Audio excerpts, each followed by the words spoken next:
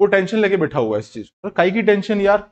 आप देखो, दुनिया में हर चीज़ हायर पोटेंशियल से लोअर पोटेंशियल की तरफ़ चल रही है। हायर पोटेंशियल से लोअर पोटेंशियल की तरफ़ चल रही है। हर चीज़, है ना? या दुनिया में हर चीज़ आपके उधर की तरफ़ जा रही है, जिधर उनको अच्छा लगता है। क्यों समझो आप इसको? नहीं? जैसे आप देखो, आपको यार दोस्तों के साथ बैठना अच्छा लगता है। घूमना अच्छा लगता है, पार्टी करना अच्छा लगता है है ना? तो आप कितना आकर्षित होते हो। अभी मैं आपसे कह दू, सत्संग में बैठो। है? अरे यार यार, परेशान क्यों कर रहे हो यार? सर यार, आपका बहुत रेस्पेक्ट करता हूँ। लेकिन वो जो सत्संग है ना, वो चार पाँच घंटे चलेगी, है ना? और बालकटी पालकटी मांड के उधर बिठा के रखेंगे जब। बिना बोले चुपचाप चढ़ी चुप, है ना? तो मैं नहीं रह सकता यार। तो आप वहाँ नहीं जाओगे। लेकिन वहीं अगर मान लो आपका एज ग्रुप में कर दूँ ऊपर मतलब एज ग्रुप आपके क्या है फोर्टी फाइव से आपके पास ऊपर की तरफ़ लेके चले जाऊँ तो हो सकता है वो चीज़ आपको अट्रैक्ट करेगी। उनको वो चीज़ बहुत अट्रैक्ट करती है। पता उनको वो चीज़ अट्रैक्ट क्यों करती है? क्यों? तुम्हारी चीज़ कर चुके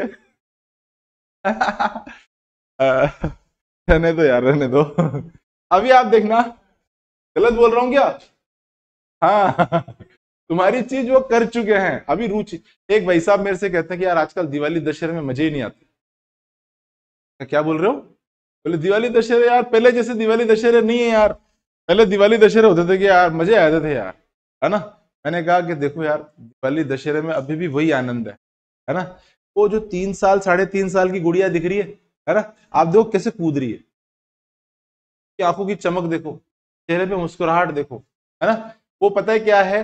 पहले तो पटाखों को देखती है है ना? खुश होती है फिर आसपास देखती है फिर खुश होती है फिर अपने कपड़ों को देखती है फिर खुश होती है।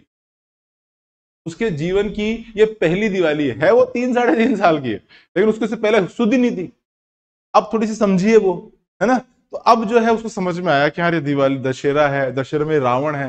आपको सोचो यार साढ़े चार पाँच साल का बच्चा जो समझ अभी डेवलप हो रही है रावण उसके लिए कितनी बड़ी चीज़ होती होगी? और आप है ना? पचपन साल के आप हो, पाँच साल हटा भी दू तो भी पचास रावण और पचास दिवालियाँ बनाई है आपने बिल्कुल मज़े में, है ना? और अब आप दूसरों को कैसे कर रहे हो?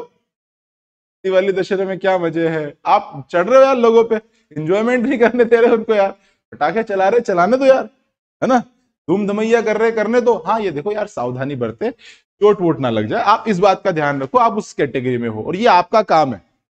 ये ऐसे असुरक्षित काम ना करे। लेकिन ये मत बोलो यार कि दिवाली में मज़ा नहीं है।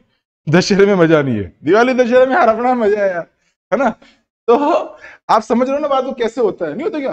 कोई बड़े बाबूजी ताऊजी होते हैं जो, अरे बयानो का ही करे चुना अरे बयानो अरे बयानो। अरे यार, आप जब सोचो अट्ठारह साल के थे, पंद्रह साल के थे, तब आप क्या करते थे? है ना? आप क्या करते थे? रस्सी बम को चेहरे में लगा के और उसके ऊपर बैठ जाते थे। दिमाग मज़ा आ गया, मज़ा या फिर तगारी को रस लगा के जब तगारी ऊपर जाती थी ना, तब आप नीचे से तालियाँ बजाते थे और नीचे आते थे फिर हट जाते थे। वो तगारी आपके सर पे गिरी, नहीं गिरी। फिर अभी आपने कैसे सोच लिया कि इन बच्चों के सर पे गिर जाएगी?